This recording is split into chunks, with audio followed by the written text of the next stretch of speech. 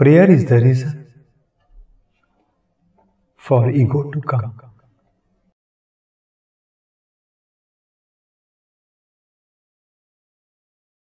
The reason for discrimination has closely to do something with the ego, the I. The invention of prayers to please God is the reason of this ego. And this has not been given by the creators of the religion, but by the promoters of the religion. When you engage yourself in a dialogue with God, there is an I and He relationship. The duality happens. On one hand, God is unseen, unheard. And on the other hand, you seem to have figured out God.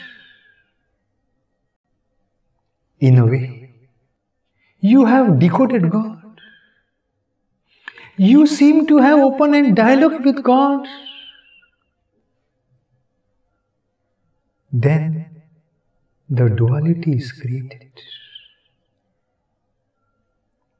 Gautam Buddha, Mahavira, Jesus Christ, Guru Nanak had no dialogue with any God. They felt it. They came out with bliss, with the very word God. They were in total love they had nothing to ask, no favors to seek, yet they found God. Because they remained in silence, they felt God. They had no ambition, they had nowhere to reach, yet they landed. They had no duality experience. They merged with the oneness in the silence. They experienced the calmness, the divinity. They experienced the quality of God.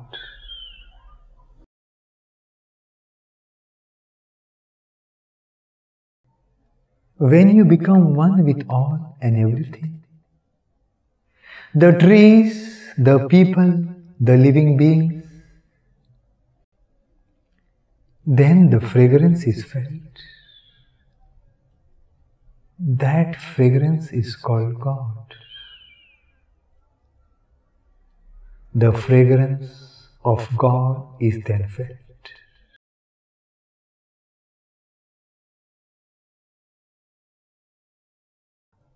a total state of non discrimination, of merger, is becoming one with God.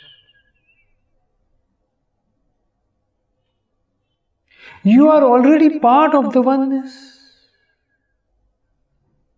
Simply you have to discover it. It is here and now. For this to happen, Nothing much has to be done. You have to meditate. While you are in constant meditation, in your awareness, in your consciousness, you will come to it. Then the radiant of life will be seen. The divinity will be felt.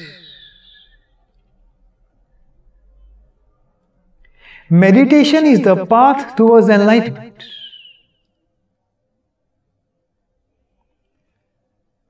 And the person who is enlightened is the one who sees the universe and the existence as part of the Absolute. In fact, then the existence becomes the Absolute. The zeroness is reached, and the one who is not enlightened he does not recognize the oneness. He divides everything into some form or the other. And for some reason or the other. And with this, he discriminates. Because when the basic oneness is not found, is not understood, then discrimination is the only possibility.